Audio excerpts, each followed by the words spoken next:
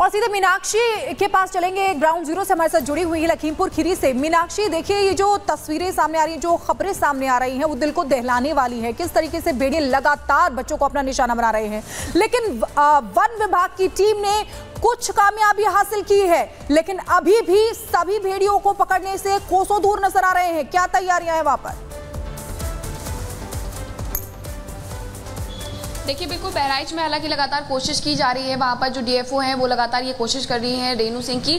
किसी भी तरीके से जो दो भेड़िए बचे हुए हैं, हालाँकि उनकी संख्या बार बार बदल दी जा रही है, उन्हें जल्द से जल्द कैद किया जा सके। लेकिन दूसरी तरफ़, जहाँ मैं लखीमपुर खीरी में मौजूद हूँ, लखीमपुर से कुछ दूर, पचास से साठ किलोमीटर दूर है इमलिया गाँव और इमलिया गाँव में, जहाँ बाघ का आतंक देखने को मिल रहा है। आखिरी जो घटना है, वो सत्ताईस अगस्त को हुई थी, जहाँ एक किसान को अपना निवाला बनाया था, लेकिन उसके बाद लगातार जो चार पिंजरे लगाए गए हैं, चौबीस कैमरे लगाए गए हैं और ड्रोन कैमरों का इस्तेमाल किया जा रहा है, उसके बाद भी कोई सफलता हाथ नहीं लग रही है। आलम यह है कि डीएफओ शाहजहांपुर को भी स्पेशली इस प्रोजेक्ट के लिए बुलवाया गया है और यहाँ के जो डीएफओ है, वो भी लगातार इस पर काम कर रहे हैं। कल हमने उनसे बातचीत भी की थी, उनका कहना था कि देखिए मूवमेंट हो रहा है बार बार जो कैप्चरिंग है, वो भी हो रही है कैमरों में, लेकिन अभी तक ये हमें सफलता हाथ नहीं लगी हालाँकि उनका ये कहना था कि लगभग दो से चार दिन में हम किसी भी तरीके से बाघ को कैद कर लेंगे। देखिए, जो तैयारियाँ हैं, वन विभाग की तरफ़ से वो लखीमपुर खीरी में हो या फिर बहराइच में हो, वो धरातल पर दिखाई देते हैं। लेकिन अगर हम बात करें सीतापुर की तो सीतापुर में थोड़ी स्थिति गड़बड़ नज़र आती है, जहाँ डीएफओ छुट्टी पर चले गए हैं। रेंजर कभी कभार आते हैं, कई ऐसे गाँव है, जहाँ पर अभी पिंजरे नहीं लगाए गए हैं, और वहाँ तो डबल अटैक शिखा देखने को मिल रहा है। एक तरफ़ भेड़िए का आतंक है, जिसने कई लोगों को नोचा है, कई लोगों को घायल किया है, लगभग ग्यारह से बारह उनकी संख्या हो गई है।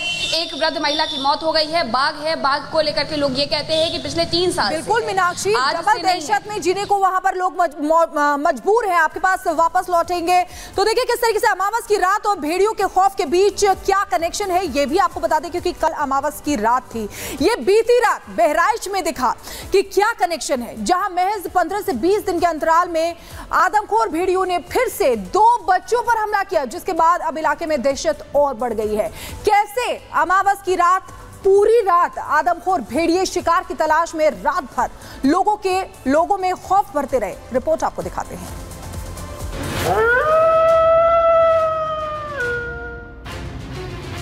भेड़िया आके मेरे गर्दन पर रखों खींचने लगता है। रात भर जागते गोद में बच्चे को लेकर बैठते हैं। डर लग रहा है भेड़िया से। अमावस की स्याह रात।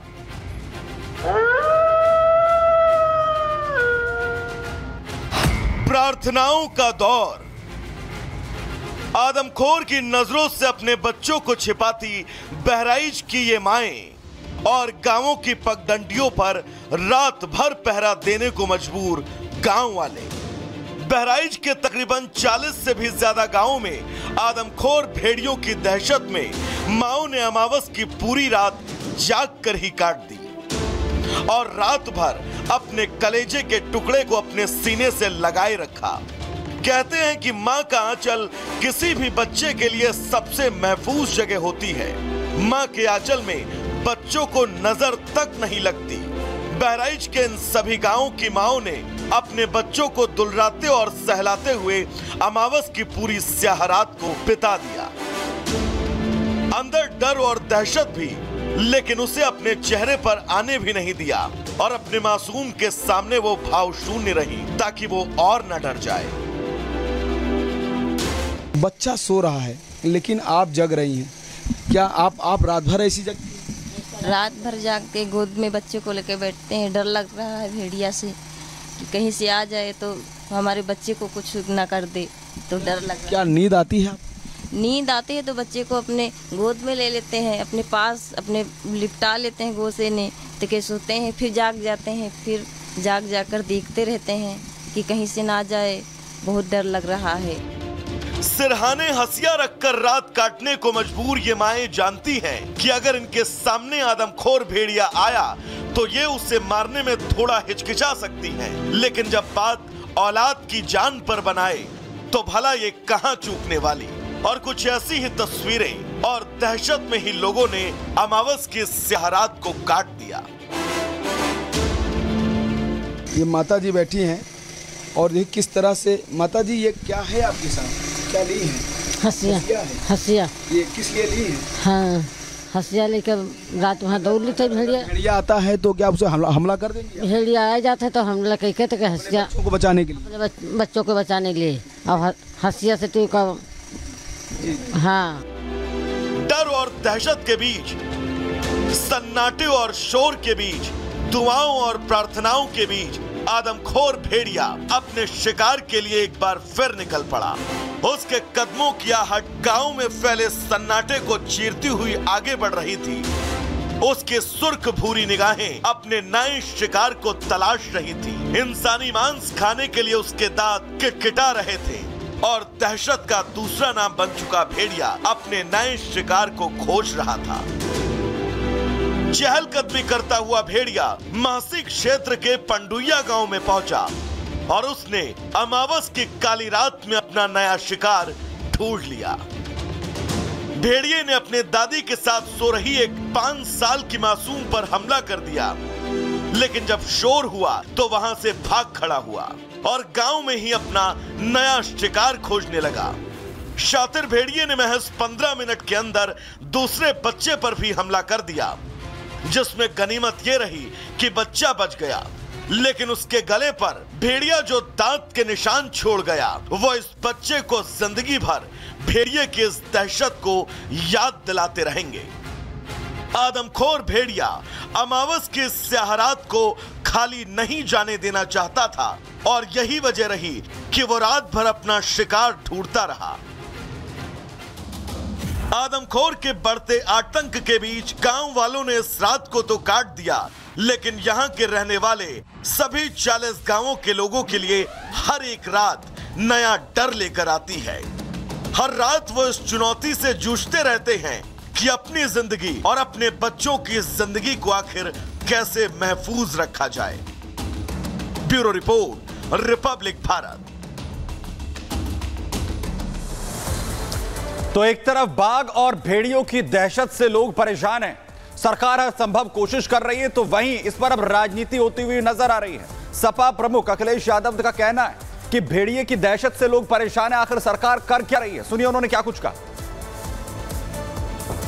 बंदूक लेके घूमे और मंत्रालय की आज होगी बैठक नाम और सीन्स भी हटाए जाने की संभावना है।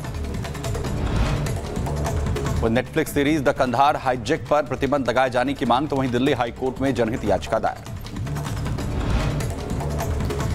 मणिपुर की राजधानी इम्फाल में उग्रवादियों ने किया ड्रोन अटैक हमले में एक महिला घायल हुई है। दो दिनों में ये दूसरा ड्रोन अटैक है। हरियाणा के जींद में दर्दनाक हादसा दुर्घटना में सात लोगों की मौत हुई है। आठ के घायल होने की खबर। हिसार चंडीगढ़ नेशनल हाईवे पर ट्रक ने पीछे से पिकअप को मारी टक्कर गोगामेडी धाम जा रहे थे श्रद्धालु। ट्रक ड्राइवर के खिलाफ केस दर्ज की जाँच। उत्तर प्रदेश के बुलंदशहर में दो गुटों के बीच हुई मारपीट और फायरिंग का वीडियो वायरल हुआ है। पुलिस ने नौ आरोपियों को गिरफ़्तार कर भेजा जेल। यूपी के बदायूं में अवैध निर्माण पर चला बुलडोजर। तालाब की ज़मीन पर बने अवैध कब्जे को हटाया। उत्तर प्रद- प्रदेश के बुलंदशहर में चल रहे अवैध नर्सिंग होम पर छापेमारी की कार्रवाई। जाँच के दौरान कई नर्सिंग होम सील किए गए। पीएम मोदी ने भी ट्वीट कर सुमित अंतल को दी बधाई लिखा सुमित का शानदार प्रदर्शन रहा है साथ ही भविष्य के लिए दी शुभकामनाएँ पेरिस पैरालंपिक में शीतल देवी और राकेश कुमार ने जीता ब्रॉन्ज। पीएम मोदी ने ट्वीट कर दी बधाई। रूस के क्रीमिया में भारी बारिश और बाढ़ से तबाही सड़कों पर भरा पानी जल जमाव से लोग परेशान हैं। सऊदी अरब के मक्का में मूसलाधार बारिश भारी बारिश के बाद सड़कों पर भरा पानी। सऊदी अरब के जेद्दा में भारी बारिश से आई बाढ़ सड़कों पर दिखा तबाही का मंजर। अमेरिका के टेक्सास में बारिश के कारण बाढ़ पाँच इंच से ज़्यादा बारिश के बाद भारी बाढ़ की चेतावनी जारी। इंडोनेशिया के माउंट रुआंग में ज्वालामुखी में हुआ विस्फोट। ज्वालामुखी का लावा और राख दूर तक फैला। नाइजीरिया में 10 प्रदर्शनकारियों को दी गई मौत की सजा देशद्रोह के आरोप में दी गई सजा। अमेरिका के शिकागो में एक सबवे ट्रेन में चार लोगों की गोली मारकर हत्या पुलिस ने एक संदिग्ध को हिरासत में लिया। इक्वाडोर के जंगलों में लगी भीषण आग हेलीकॉप्टर की मदद से आग पर काबू पाने की कोशिश जारी। फ्रांस के सेंट ओमर में इमैक्युलेट कॉन्सेप्शन, चर्च में आग लग गई। फायर ब्रिगेड ने आग पर काबू पाया। यूक्रेन के पावर स्टेशन पर रूस का हमला, बमबारी के बाद लगी आग तो आसमान में उठा काला धुआँ।